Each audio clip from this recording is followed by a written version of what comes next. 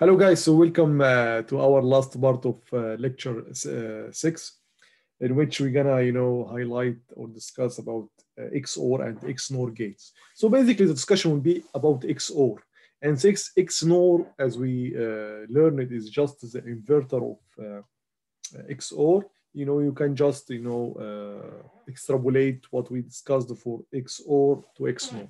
It will be exactly the same. Okay. So the first thing that I want to discuss about is, you know, uh, the extension of XOR. And so we, we know the, defi- the, the definition for two inputs when we have just X and Y. So the, a definition is, is so easy. So X and Y, and here is XOR. Uh, 0, 0, this will be 0. 0, 1, this will be 1. 1, 0, this will be uh, 1. Uh, 1, 1, this will be 0. Very simple definition. Okay. So now, can we extend this to three inputs? You know, again, we're gonna discuss or uh, verify with the cumulative property and the associative property. And you can prove by truth table very easily that x XOR y equal to y XOR x. And you can also prove that x XOR y together, then XOR the result with z or z is just equivalent to eh, X, XORing Y and Z, then XORing is output with X. So this can be proven. This can be proven by truth table.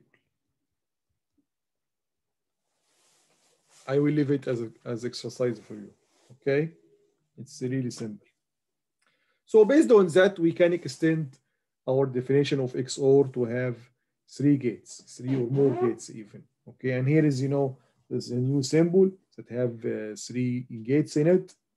Okay, and if here's output is just X, XOR Y, XOR Z, and and you know, uh, like like AND or OR gates. Okay, if you don't have a circuit that perform XOR with, with, with three, that can perform XOR for three inputs, then you can use two XOR uh, gates, each one with two inputs, and do the you know do the job. We cannot do that with NOR and NAND, you know. And here is a new truth table for that. You can just do it, uh, you know, in an easy way. So, for example, zero XOR zero. This is this is this will be the output the output here x XOR y. So zero XOR zero is zero. Zero XOR zero is zero. Zero XOR zero is zero, but zero XOR y is one. Zero XOR one is one. One XOR zero is one, and so on. Okay. So it's really simple to uh, to deduct here to drive this truth table. Okay, but it's really you know uh, inconvenient and tedious each time to you know get this and try to remember that guy here that truth table for two inputs. If you we can do maybe with three in you know in in a short time, but how about if you have four inputs? Okay, or five inputs. It's really tedious to you know to do that each time just to take two, then give get their XOR, then XOR the result with the next term, literal, I mean, or next variable, then XOR the result with the next and so on.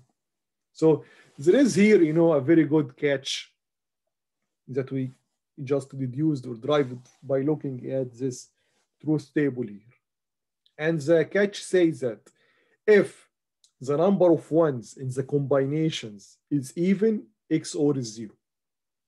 And of course, it will be one in the opposite case. If the number of ones is, is odd, XOR will be one. So for example, here we don't have zeros. So the number, I'm sorry, so we don't have ones. So the number of ones here is zero.